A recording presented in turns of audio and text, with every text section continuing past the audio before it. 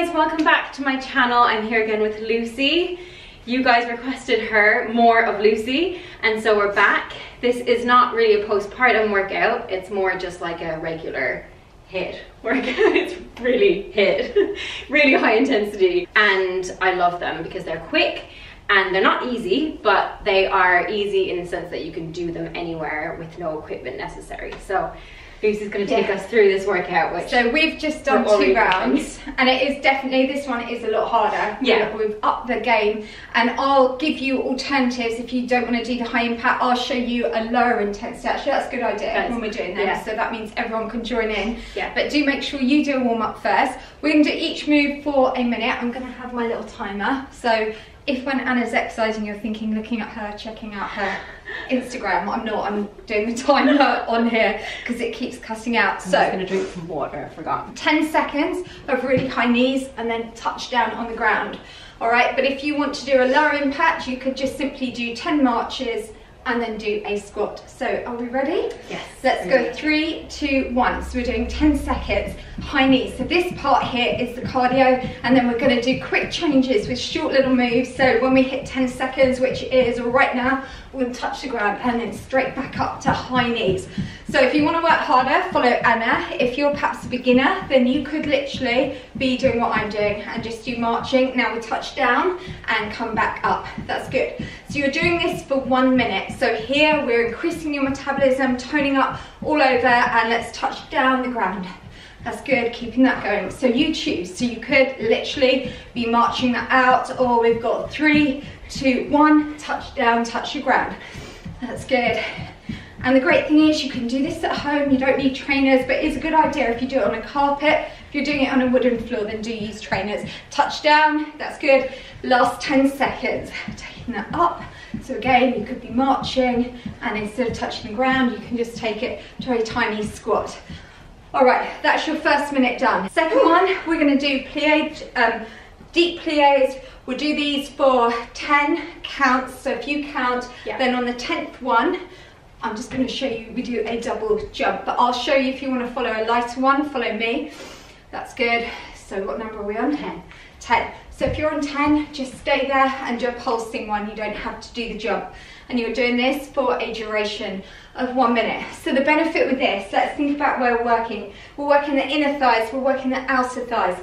We're also working cardiovascular. We're adding that jump, so we're getting the heart rate up. So these are what we call multi-compound moves. And you just have 20 seconds left. That's good. How's that feel?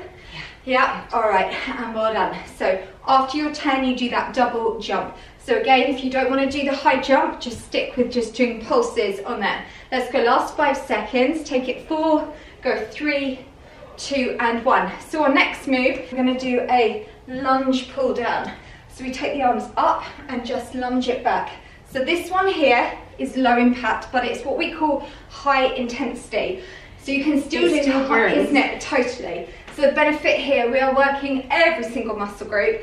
A lot of people do lunges forwards, and that's where they find it uncomfortable on their knees. So what I prefer is if you take the lunge back, then it looks after knee. It's much, a much better way of doing lunges. And by adding the arms in, you've got 35 seconds to go. We're just increasing that heart rate. We're also toning through the arms. So again, even if you're a beginner, you can do this.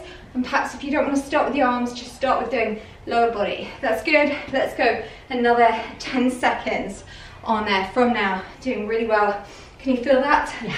Yep, and let's go five, take it four, go three, two, and one. So the next move now, we're gonna do a netball jump. So we are gonna get ready to take a side step this way, then with a jump. Let's go three, two, and one. So side step and jump, and side step and jump. So again, if you're a beginner, just follow what I'm doing. So you can see you don't have to do the jump, and you're doing that for a duration of 60 seconds. So reaching that cross. So we're doing here what we call a lateral move. So you're working the inner and outside of the thighs. We're also doing a plyometric move, which is the jump. So we're doing calorie burning. We're toning up. We're doing actually, what's really important is getting you fit and looking after your heart. That's the most important muscle of all. All right, and let's just reach that up and reaching that across. And you know, you might want to do 30 seconds where you're doing it without the jump and then 30 seconds where you then finish off with the jump. Am I allowed to do that or not? What? Am I allowed to do that too? no, you've got to do the hard stuff. That's I'm doing the easy one. How mean am I? And let's go four, let's take it three, and go two, and last one. Okay, skater's lunge. So again, for a minute. So let's get ready. Three, two, one. So we take it across. So just imagine you are speed skating or ice skating. And this one here is, were you saying it's your, one of your One favourite moves? Yeah. I thought you meant burpees were your favourite oh move. That's why I added that in the next one. She wasn't going to add in burpees and then I said I hated them and she put them in. So mean. But I did kind of make them a little bit prettier Yeah, by they are. adding a slightly different move to it. But this one here is a really good for again, you're working every single muscle.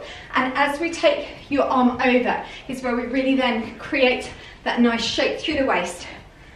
All right, that's good. So this one, again, if you're a beginner, you don't have to step out as far. You can just make it a slightly smaller move. And let's just get ready for last 10 seconds from now. That's good. All right, and we're gonna go five, take it four, let's go three, two, and one. So this one, okay, we're gonna start like this. All right, let's go three, two, one, jump it down, then come up, and this is a bit where I am kind, because we added in a waist move, and then straight back down. So we're gonna keep that going. So I'm gonna show you, if you're a beginner, then do a little step back, then join in and do the twist. So if you don't wanna do the jump, you can do that. That's good. I feel a bit mean that I'm not doing the jump you do them, so I'm gonna join in. All right, that's good. And we just got 30 seconds to go. And this part of the move is really good for working the waist. All right, we got last 20 seconds. I remember, when stuff is challenging us, is then when it's changing us. So that's what we want to be doing. Keeping that going. We've got last 15 seconds on there. We're nearly done. Keep that focus. Also, when you're doing that twist, make sure you keep the hips facing forwards. They don't move, it's just the upper body. And we are done on that one block. Oh, why did I do that one? Okay, so this one is the last one, which is a tough one. We're gonna do 20 seconds doing a waist twist, so we will start now with that. Okay, so with this, the further back you lean, I'll just show you from here, the harder that is on the abs. Make sure you don't feel anything in your back. Do keep those tummy muscles tight. So this is all now about shaping into the waist. Then we're gonna add a new move, which is a really tough one, which we're gonna do for 20 seconds as well. I'm gonna come into position. So we come up like this, and we're just gonna take hand, opposite hand to knee. So the benefit here with this, we're still working through the abs, but you're also working through your arms coordination, you're working the core, but this one is really tough. So if you find it too hard, just slightly bring that foot off the floor, nearly done, and let's go two, and then one, let's bring it straight back down, seated ab twist. And again, with this one, the further back you lean, the more you feel that in your abs, but you must keep your tummy tight. And this is all about getting those nice curves. This is why we don't want to be doing plank. This sort of exercise is amazing to give that lovely curvy shape. And the good news is we are done. Oh, high five. Done. There I'm we go. sweating. So there we are. How good is that? So that's Thank you. definitely back to what you were kind of doing Is it? before. Okay, cool. Yes, yes, yes. Thank you so much. So that is the current workout for you guys for free.